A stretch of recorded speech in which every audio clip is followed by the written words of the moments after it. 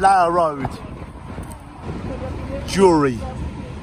I remember in the early 1990s walking all along this road with my dad watching Wolverhampton Wanderers play Col U.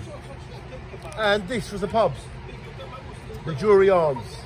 And my dad brought me here for a drink. what a great day. I'm a Wolves supporter, but I do love Col U. They're my local club. But sometimes there's a bit of banter. So I just thought I'd share with you the Dury Arms coming here in the 90s when it was a banging pub as a Wolves supporter. And can I just say, all of the Col U supporters, well, I'm still alive, haven't I? So thank you, Col U supporters, for not killing me. And there was no, it was just banter, it was just good fun. But I tell you what, we've had some of the best times of our life in this pub. Even when I come here as a Wolves supporter, full of Col U supporters, they still treat me good. I love you, Col U.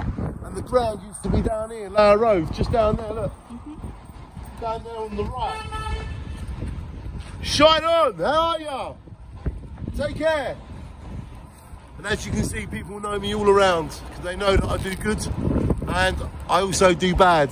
But I do bad in a good way because you need to sometimes go over the top to get things done. But never nasty, never evil. I love you all. Welcome to the Dury Arms where they looked after the Wolves supporters when we were playing Col U. Come on the Wolves, come on the Col U, and come on the Dury. Right here, Shine on, bye-bye.